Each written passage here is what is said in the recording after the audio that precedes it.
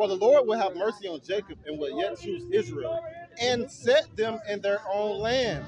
So it says the Lord, Yahweh Christ, is going to set us in our own land. Yeah, so what are you waiting for him to come pick you up by your hair and put you down over there? Yeah, that's talking about Israel. Okay. And I will yet choose Israel and set them in their own land. And the strangers shall be joined with them, and they shall cleave unto the house of Jacob. And the people shall take them, so the Israelites are going to take the strangers, and bring them to their place, and the house of Israel shall possess them in the land of the Lord for servants and handmaids. And they shall take captives whose captives they were, and they shall rule over their oppressors. So we're gonna, Christ is gonna come back, Okay, give it to me. and the people who had us in chains, we're gonna put them in chains. So We're white gonna people, that's who, you, that's, oppressors, that's who you not say. just white people. Not just white people. Who else? Every other nation that had us in captivity. in the sub-Saharan slave trade, uh, the Dude, Moabites. What what about the what about the the kings, the, the African kings that sold y'all into slavery? They're going The into Hamites captivity are too. Too. The Nigerians, the Man. all them. That's I don't think I Tyree I, and I refute that that's talking about a future uh, thing and that's something that's already happened is what I contend. So Hold on, read Revelations uh, 13 and 9. Give it to me. Yeah, I don't I think that's our that's something that's already happened. this is Revelation 13 and 9. If any man have an ear, let him hear. He that leadeth into captivity shall go into captivity. When have the Europeans went into captivity? By the people they put in captivity.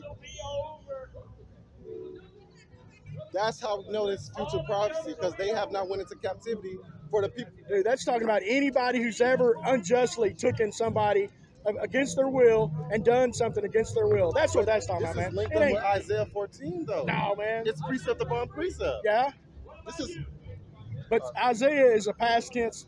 That what you read, I think, something that happened. But what you read in Revelation is something that hasn't happened. I agree. all that. that But hey, that have I taken somebody into captivity? No, he, it says he. That's a personal thing. He who takes into captivity will be led into captivity. gonna show you. I've never done that. Look, and, and that's a good question. Have you ever been in captivity? Yes, I'm in No, captivity man. right come now. on, man. You have. You are not. It just said that. You're as free as I am. No, dude. I'm not. Oh, Why aren't you? I'm, I can show you because if I want to travel out of the country, what do I have to? I have to go to another people for a passport. I have to have an ID. I cannot be a felon. We, I'm under the jurisdiction of Okay. someone else. That's not my. So people. am I. If I wanted to do those things, Those if I are your people, though. dude, man, my people, your people, that's where y'all messed up, man. Jesus is gonna come set it straight, man. And I and that's all I can say, man. He's gonna come set it straight. Okay. I, I pray that you're But this, this one of his one. child. This is, and I pray to the Lord willing. But this is the last scripture I'm gonna leave you with, okay? Because you said that you didn't do anything personally. Even let's say, even if your forefathers did it and you did it, Okay. let's say, well, we're not gonna take it. I don't want to use you. I don't want to seem personal. Let's take the average European, and they didn't Now, put, they I didn't put, they didn't I put don't agree with what the average European did or what they've Okay, okay, that's okay. I don't I don't line up with that. But if you agree with it or not, this is what it says. Isaiah 14 and 21. This goes in talking about that, and it reads all the way into it. This is the context. Okay. So it says, prepare slaughter for his children for the iniquity of their fathers. So they're going to have to pay for what their fathers did. That's already happened, dude. The slaughter has happened. and It may it may be a that may be a, a, a immediate prophecy and it may be a foretelling prophecy. What does it say exactly again?